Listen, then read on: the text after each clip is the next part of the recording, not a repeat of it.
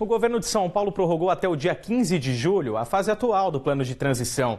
Havia uma expectativa aí de que o horário do comércio, dos serviços, ele fosse ampliado até às 10 horas da noite. Isso não acabou acontecendo.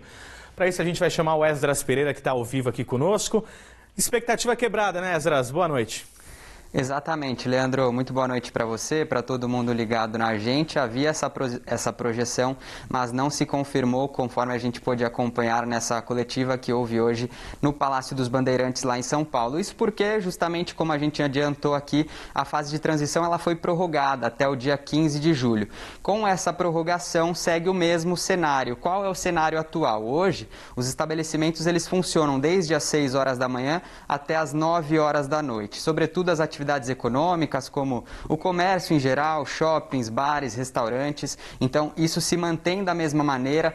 Também vale essa prorrogação para os espaços culturais, como museus e cinemas, então, das 6 até as 9 horas. E vale também isso para os cultos religiosos, né? as celebrações nas igrejas também devem seguir esse protocolo. A gente lembra aqui que a capacidade máxima de atendimento de todos os estabelecimentos é de 40%. Bom, segundo o governador João Dória, essa prorrogação tem por base os indicadores de saúde aqui do estado de São Paulo. A gente sabe que o cenário atual da doença não é bom, não é favorável aqui no estado de São Paulo, portanto, a gente vai ter essa prorrogação aí.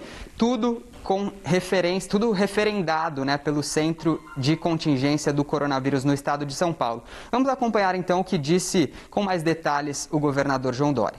Devido aos índices ainda elevados de casos, internações e óbitos da pandemia em São Paulo, o governo do estado vai seguir, mais uma vez, a recomendação do Centro de Contingência do Covid-19 e prorrogar a fase de transição do Plano São Paulo até o dia 15 de julho. Lembrando que esta fase, inicialmente prevista até o dia 30 de junho, foi prorrogada agora até o dia 15 de julho.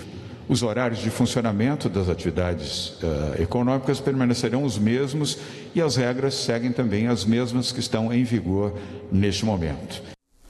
Então, mais uma medida de contenção aí, Leandro. A gente sabe que o cenário realmente não é fácil. Temos por base, por exemplo, a cidade de Araraquara, que chegou a decretar lockdown, melhorou, agora piorou, decretou lockdown de novo. Então, a gente não tem outra maneira, né? O governador vai tentando fazer o que pode aí para conter o avanço do vírus nesse momento no estado. E a vacinação está avançando. Vamos esperar mais um pouco, né, Zraz? Obrigado pelas informações.